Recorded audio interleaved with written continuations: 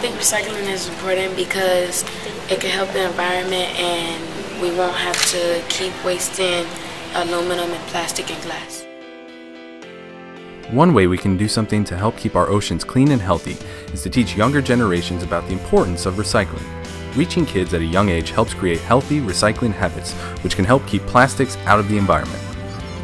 That's why America's plastics makers, through the American Chemistry Council, have partnered with LA's Best, one of the nation's top after school programs on the Go H2O Challenge. The challenge educates kids about the important benefits of reusing and recycling more plastics. Since 2008, the program has reached 25,000 children at 180 different sites and provided each with a reusable water bottle. The best thing that came out of it is awareness about our environment and the importance of keeping our environment clean and safe, not only for this generation, but for future generations. They uh, take the items to a recycling center, and the funding that they receive from the recycling center, they use it towards their gardens at their schools. Um, so you, you're, you're, it's, it's a two, it's a win-win situation.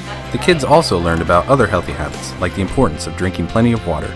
And we saw that those healthy habits kicking in, and the most important ones that we started seeing less uh, sugar drinks.